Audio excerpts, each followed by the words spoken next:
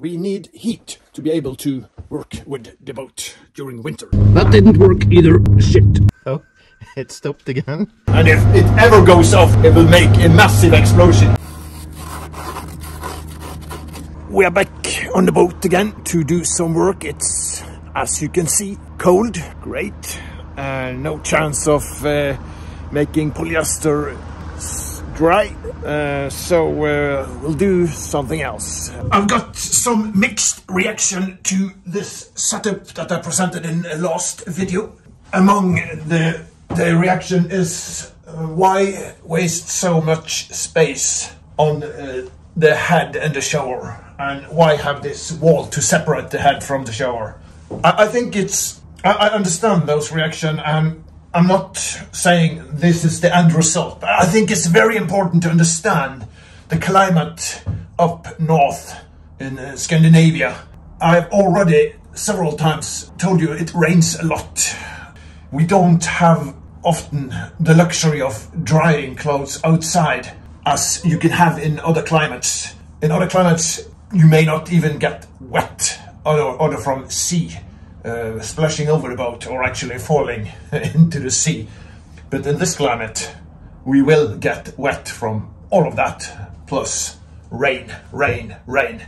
So we need space to dry clothes. Otherwise, you have to go to harbor. You cannot stay at sea without the possibility to dry clothes. And if you don't have a room, separate room that can be a wet room that do not moisture all of the boat, then I don't think it's very livable on board in such a small vessel as this. So, in my opinion, the shower room is large, not to have a large shower room, but to have a large room that can actually keep a separate room that can be moistured with all the clothes. And I will, of course, have to have some kind of uh, heater in that room and ventilation to get the moisture out. However, to, to share it with the head. It is possible, of course, uh, and I might do that. Uh, I, I, will definitely consider the input that I have got. I will say I appreciate very much the, the opponents that challenge my ideas. I also got the input that I should plan more thoroughly, and that is, of course, true. But it's not my strong side. I'm a sort of uh, develop as you go guy, and it also means that I will do mistakes and I will have to correct them enough chit chat. Today it's uh, very cold, uh, as I said, and I will do some grinding and uh, try to clean up these areas. And also, I need to to remove it to to have this part open. As you can see, this total structure is one piece, and for it to be strong, it needs to be completely removed and and uh, put in as one piece. That's at least what I think.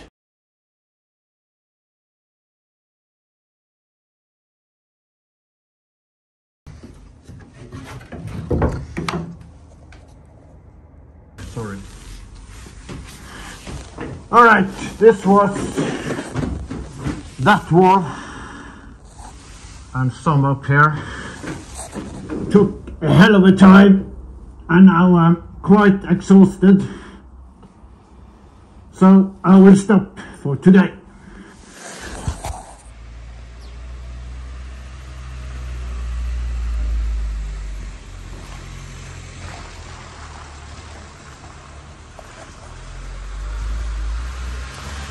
Today I'm digging in the house, not working on the boat, which is of course not good. However, this old house needs a new water supply tube and uh, one of the neighbors is already digging in the ground outside the house to the main cable and uh, I take advantage of that fact and uh, go for a change of the cable.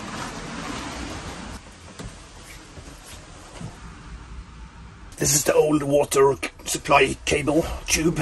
And um, on the side of it there is another one. That's this one. It's a steel cable and uh, it rusted probably many years ago and uh, didn't last very long. So they changed it in the 1950s I think with this uh, cable which is uh, I believe uh, bronze cable. Copper copper I guess it is. Copper probably copper. And uh, I think um, it's very small for a house like this. And and also if we are going to install fire extinguisher uh, equipment, we need a larger diameter cable. So sorry for working with a hose. It's a few hours later and there is a hole in the ground. I'm almost through. It's been a half few days and the new water pipe for the old hose is finally in place. This has, of course, resulted in no work at the boat, which is sad, but later today we are going to get the plywood stored at Boatman John's work store, work, workshop, yeah. So, let's go there. As we can see, we are now on our way to Boatman John's workshop to get the marine plywood for the fisher. And along with the ride, I have my friend Leffen. He is a very successful programmer and a computer guy generally. What he doesn't know about computers and programming is either not interesting anymore or is yet to come. So let's ask him. How are you doing, Leffen? Quite well, thank you. Are you optimistic about this uh, ride to get the plywood plates? Of course. Are you a boat owner yourself? How large is your boat compared to mine? 10 foot more. It's more. It's 42 foot and mine is only 30. He keeps bragging about that all the time. How are you? I'm better than uh, than uh, your car. We are back in the workshop uh, to get the marine plywood plates and they are here. Yeah, yeah, uh, it's it's solid. Uh, We do this at night because then there are less police to discover us. Could you possibly speed up a bit? do you enjoy working with the fisher? Yes.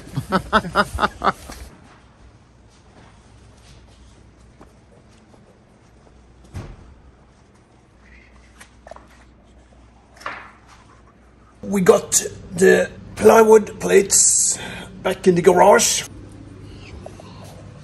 So I've done uh, a few square meters uh, of uh, the inner hull grinding and I'm quite exhausted. I have seen uh, other boat channels do much more. Selenium I did uh, their entire, not their entire, but say two thirds of an inner hull in just one day. Very long day. That's admirable because this is a hell of a lot of work. I managed to crash my car. That was a very unfortunate uh, slow speed accident. Uh, I just hope it doesn't mean too much for the already slow progress due to winter on the boat project. Let's have a small look at the car.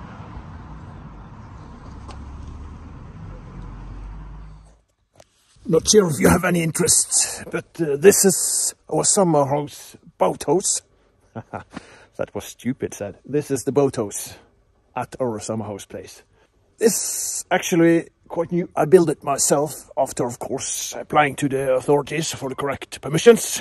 I got the permission to build myself because I had some experience from my house at home. It's about uh, 62 square meters. And uh, I spent six weeks at the summer completing most of the structure.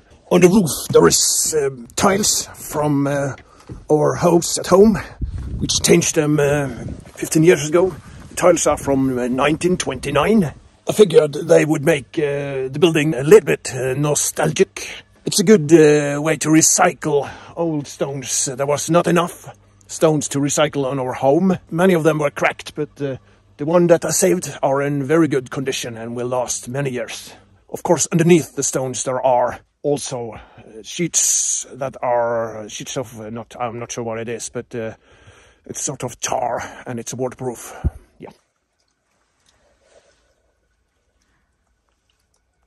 We are at the summer house. Of course, it's not summer. We hardly have any summer in Norway. Anyway, we are here to find uh, a solution to the heating problem in the boat. Maybe uh, in my boathouse I have some uh, solution to that we can discuss. But before that, I figured some of you wanted to know a little bit about the other boat that I have. It's a Rhea 900.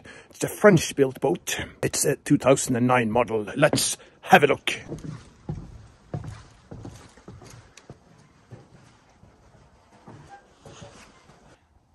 As in the 900, Rhea 900, it's uh, 9 meters plus uh, 50 centimeters for the uh, stern platform. It's about 30 foot long. It's um, a shallow draft boat, actually. It's uh, meant for the French coast. While it looks like a lobster boat or a fishing boat, maybe, it, it's uh, quite a fast boat, actually. It has uh, 220 horsepower Yanmar. Uh, it's a six-cylinder diesel. It will go about 22.5 knots on maximum throttle. However, uh, it's generating a lot of noise. I will uh, give a few videos on while it's running. I like running it on 7 knots. Uh, that's uh, very, very nice. It's uh, quiet and the motor actually revs low. This is the motor room.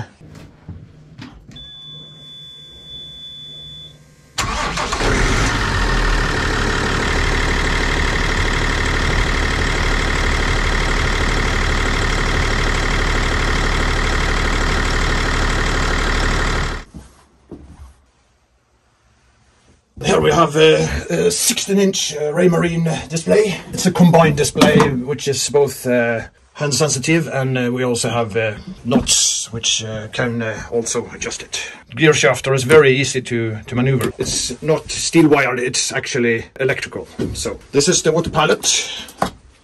That's uh, beginning to be a little bit old, but it's still working great, so I will not change anything that actually works, of course. There's a small kitchen, double bath, and uh, of course, the head. The good thing about uh, this boat is that the deck is actually just um, less than a foot above the sea level. It's maybe as closer to half a foot. Hard to see, but uh, it's really not that far. This is not the boat that uh, us sort of smashing uh, the waves. It's cuts through the waves. Very elegant. They were made only in about 54, or was it maybe just 46? I think it was 54. This is one of them, and so there should be 53 less in the world. So good luck getting one. I've already bought the dinghy. Bought it uh, last year for a very good uh, winter price. 2.9 meters and weigh in at 36 kilo, I believe. Something like that. So it's very light. This is actually the mast to the fisher. Hanging dry, waiting for again to enter sea. But we are here for the heat issue. We need heat to be able to work with the boat during winter. This is the storage room in the boathouse. It's uh, better insulated and uh, the point is of course to have a room with less moisture and than in the rest of the boathouse. For storage of uh, items that uh, do not tolerate a high level of uh, moisture in the air during winter. These are three identical Eberspächer Airtronic 4 kilowatt diesel heaters. The good thing about using the diesel heater is it generates 4 kilowatts of heat and it's a clean air, uh, meaning it will suck air from outside and it will put the fumes outside. So it will circulate the clean air inside the boat. The disadvantage is it cannot be run during night if I'm not there. The fisher is in the boatyard. It's packed with boat during winter and it's not legal to run the diesel heater without actually being there watching it. That is no problem if you use polyester as it will cure probably within two or three hours if you have the right heat. However, using epoxy, that will need about 20, 24 hours to cure and that will be a struggle for me. Let's have a look at another option. This is an electrical propane driven heater. It's a, it's a very, very good oven as it creates 15 kilowatts of heat when it runs on maximum. However, it does that while polluting the air inside. The air it puts out is polluted with, with the fumes from the combustion. It will actually moisture the air inside and it will also consume the oxygen. It will have to be run outside the boat, putting the fumes and the heat into the boat. The good thing is, of course, that it creates a lot of heat. 15 kilowatts is really a lot, and it will heat up the boat in no time.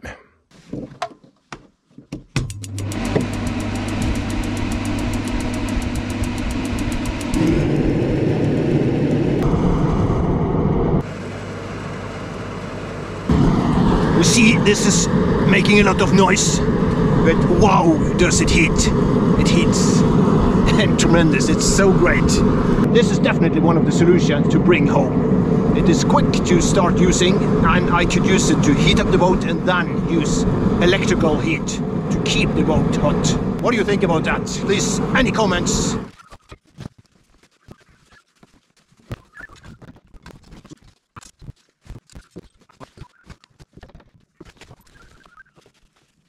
Then I guess we need power supply, which is a 12 volt battery, and we need diesel. And where is diesel?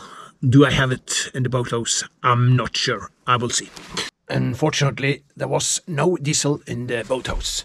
But this boat has 100 liters at least left, and I only need a little bit of it. Let's see if we can get some out without too much hassle.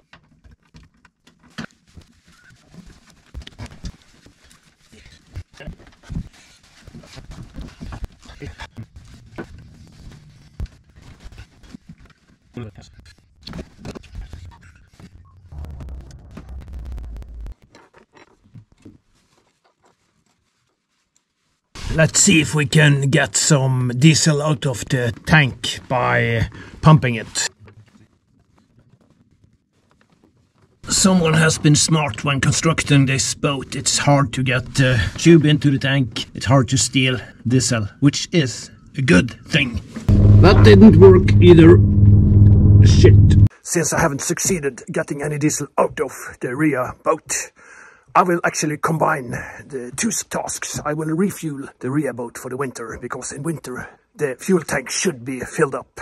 At least when uh, there is possibility for cold weather, because it will suck in cold, uh, moist air and breathe out hotter, less moist air, and it will collect water inside the tanks.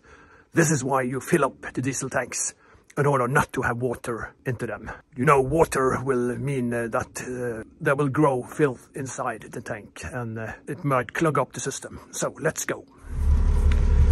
This is non-alcoholic.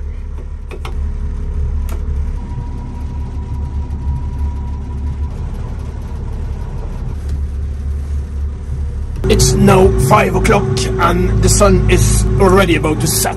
This is Norway during winter. In summer it's quite the opposite, which is super cool.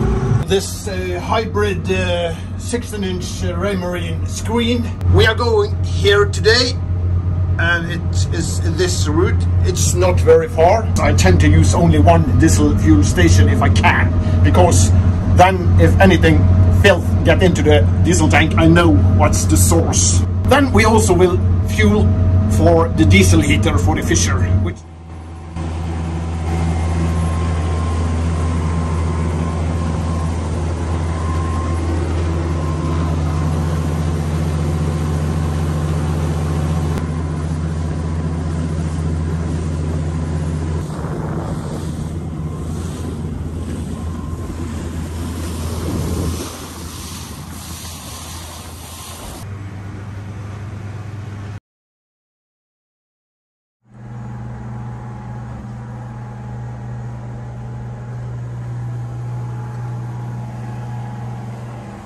So this is my wife Sylvie, enjoying the sun and the huge waves. And of course, a little drink.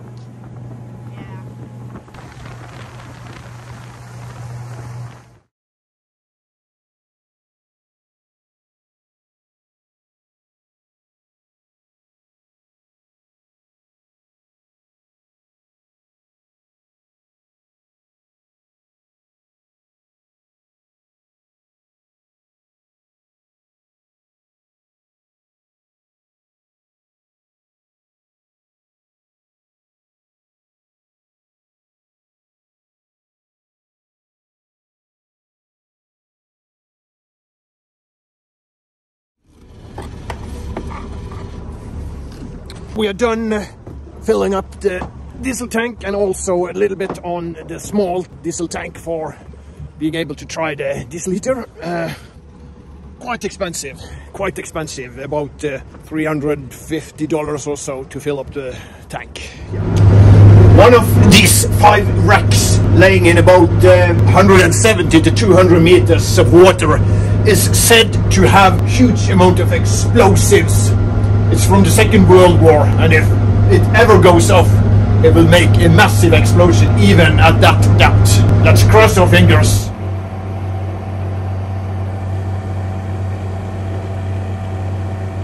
It's the next day, and let's see if we can get the diesel heater up and running.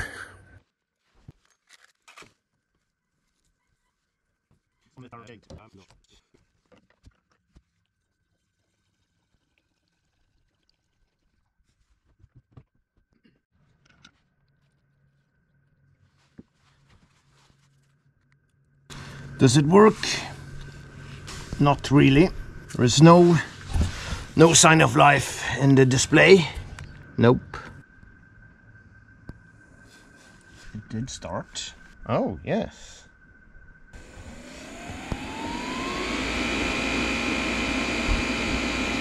Oh, it stopped again. I will uh, change the unit and see if that works. I switch with a new unused unit. I'm actually not sure if these uh, units uh, are compatible. They are exactly the same num uh, D4, uh, but it's from uh, maybe different productions. But none of them are new in the sense of bought today or yesterday. They are both some years old, but this unit I'm now installing has never been used. It has never run. Let's see if it plugs in and starts up.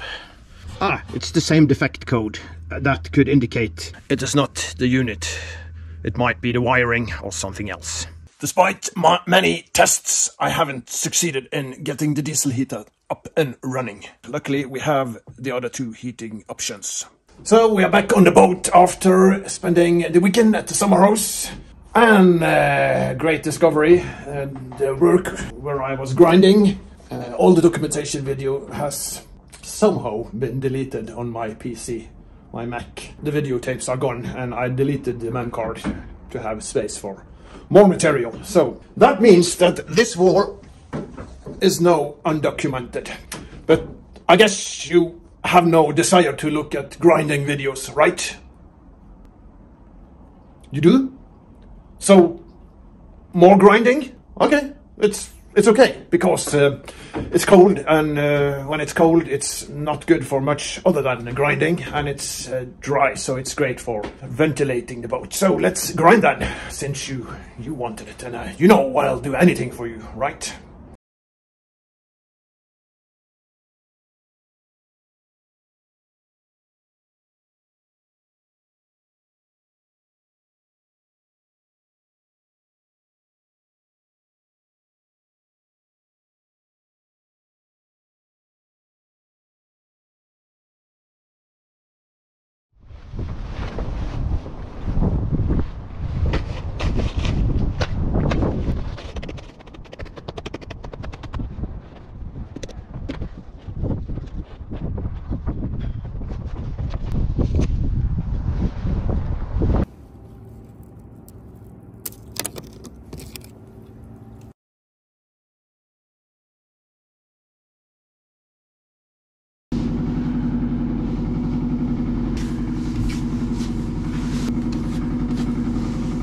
Look at this.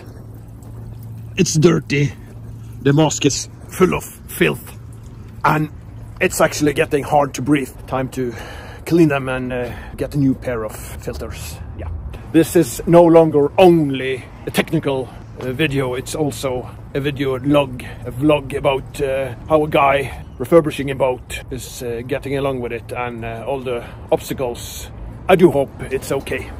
Yeah, you may very well ask why am I grinding that much on board. There are several reasons for that. The polyurethane coat that I did. That paint is now illegal in the EU and therefore also in Norway. So I will not be able to completely coat the hull inside with that paint anymore. So I am removing what was there. Secondly, I'm not sure where I am going to attach the structural members. So I might as well grind off now that the boat is a complete mess of dust and it's really bad and it is hard shitty work, to be really honest. I hate it. But uh, I'm doing it now and I'm trying to complete so I can wash the boat with fresh water and, and uh, get the dust away. Um, thirdly, I did make a mistake painting the hull that early. You know, I did buy the boat believing it was based on the description and what I was told slightly better than my standards uh, indicates. So I thought I was just going to give it a nice brush up and uh, you know, buying a new boat, you want to clean it up and you want to have it nice, but that only made more work for me later. So that was a mistake. I shouldn't have done that. But you know, you do will you will do mistakes while working with refurbishing a boat. I think it's well spent time doing this grinding now and have uh, all the opportunity to to um, touch uh, polyester, polyester and uh, fiberglass wherever I, I wish to coat or to to uh, to attach or do anything treatment with the hull. So later. This is what we had time for this time, and uh, I will end the video here uh, in uh, the boatyard. And uh, until next time, I plead you to leave a like if you did like it. If you didn't like it that much, uh, of course you don't have to leave a like. I understand that very much. I will not be too sad about it, I hope. And um, also consider if you wish to see this uh, quite grown-up man uh, continue working with this boat and uh, some of the life uh, connected to, to it, please consider subscribing. Until next time, have a nice week.